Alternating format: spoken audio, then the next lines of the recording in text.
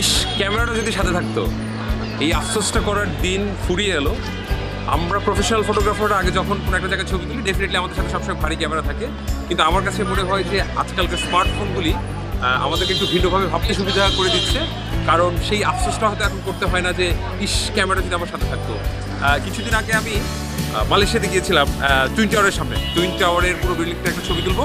কিন্তু সেই ছবিটা যখন তুলছিলাম, তখন সেখানে একজন ফটোগ্রাফার ছিলেন যিনি আসলে ওখানে ছবি তুলে দেন, যেহেতু আসলে অনেক বড় ওয়াইড লেন্সের প্রয়োজন হয় তো সেই জায়গাটা উনি আমাকে বলছিলেন যে তোমার ফোনটা দিয়ে আসলে ছবি হবে না।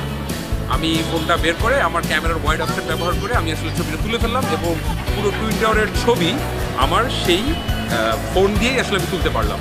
তো আমার কাছে মনে হয়, ইস, আমার যদি এই ক্যামেরাটা যদি আমার সাথে থাকতো, এই আফসোস করার দিকটা আসলে ফুরিয়েছে। কারণ আমি যে আজকে এখানে যখন ছবি তুলছিলাম মনে হচ্ছিল যে, ইস ফোন টা না হয়েছে আসলে ক্যামেরাতে ছবি তুললাম। কিন্তু যেহেতু আসলে আজকালকার ফোনগুলিতে আমি সকল রকমের অপশন পাচ্ছি হোয়াইট ছবি তোলার ম্যাক্রো ছবি তোলার টেলি ছবি তোলার। কাছে মনে হয় যে আফসোসটা ঘুরছে আসছে কবে কবে আসছে।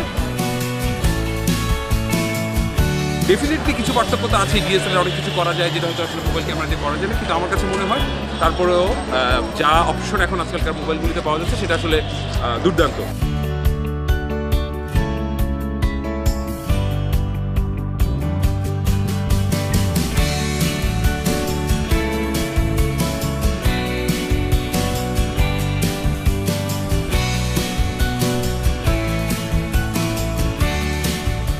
এই বিষয়গুলি আসলে শেয়ার করতে চেয়েছি আপনার সাথে। সেখানে আসলে আসলে আমার বইটি লেখা এবং আমার কাছে মনে হয় যে নিশ্চয়ই আপনারা সেটা ভালো লাগবে।